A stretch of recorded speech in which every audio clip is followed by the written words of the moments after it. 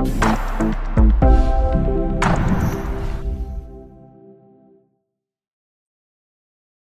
everyone, I'm back with another video and in today's video we have a Dell G15 laptop. The exact model for this one is a Dell G15 5511 series.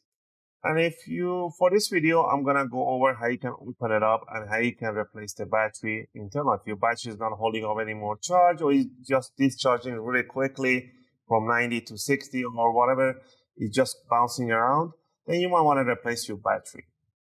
And also remember at the end of the video, I'm going to show you, tell you guys a really nice, uh, important advice about installing the new battery after installing. There's a proper way of doing it. I'll leave that, and I'll explain that in a second after we uh, do the demonstration here. All right, just remember by changing the battery, you're not going to change any configuration or anything. Just make sure your laptop is completely off. Then what you want to do, you want to close it down, flip it upside down, and we're going to work on the bottom side of the laptop here. I'm going to go over the tools that I'll be using. Tool number one is an iFixit screwdriver set. If you get a simple set, they will include you the screwdriver and few bits. And we're going to use a Phillips number zero from this tool set. The bit number zero. If you get a pro set, they will include you with an opening tools. If not, grab yourself a guitar pick. And metallic guitar picks are suitable to opening cases and covers. All right. Now, down here, you're going to see a whole bunch of screws. There are some screws that you can remove and there are some that you can't. So let's go over the screws that you can remove.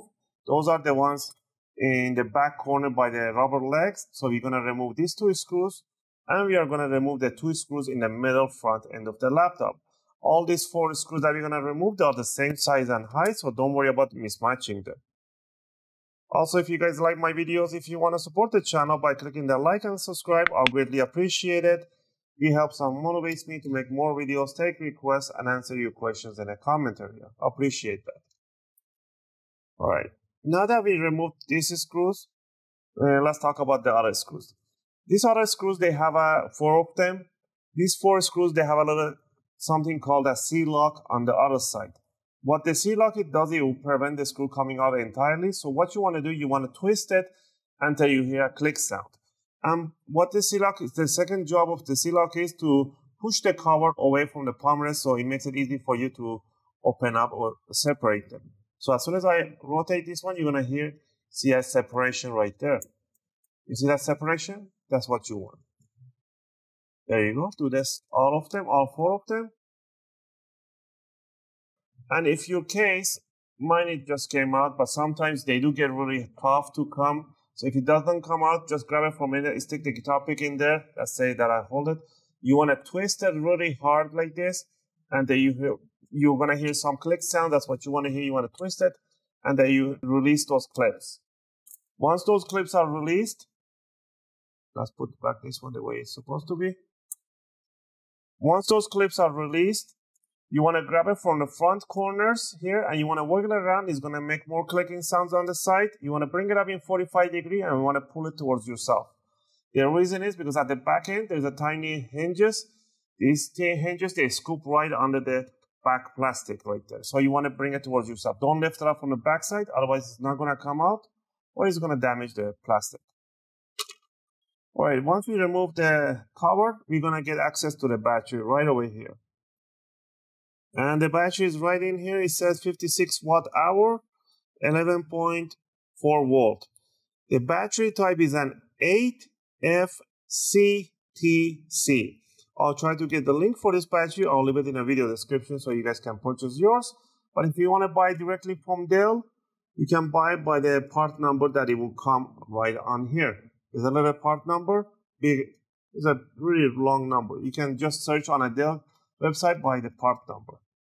All right, to remove it, simply first you want to disconnect the connector right in here. So you want to uh, remove this gaffers, tapes, whatever in here. You want to pull the cable towards the battery. slide it back. Don't lift it up. slide it back, and the connector is going to come loose. Next, we're going to remove the screw right in here. The screw right there, there, and there. So there's one, two, three, four screws that we're to remove. So I start from one corner and remove the four screws. These are chrome head screws.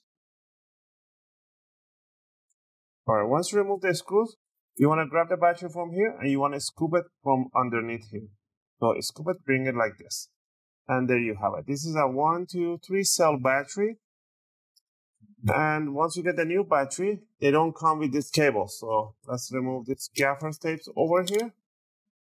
And the jack just came out loose.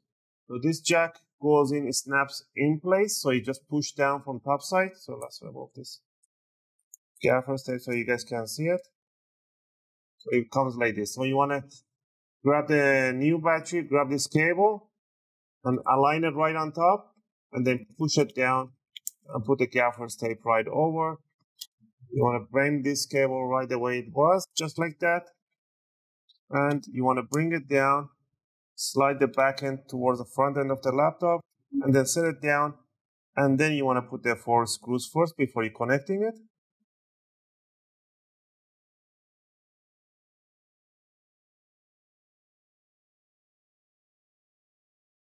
All right, once you uh, make sure that once you put the screws in, now you want to grab the connector. You want to put it straight towards the connector. Don't put it sideways. Make sure it goes in straight in.